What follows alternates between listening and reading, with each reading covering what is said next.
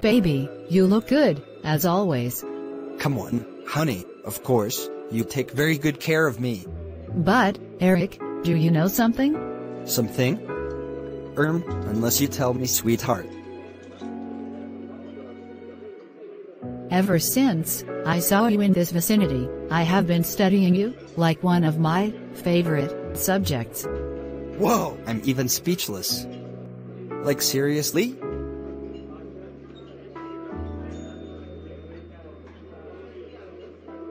Yes, seriously. I really love you, Eric. And, I love you more, Lizzie.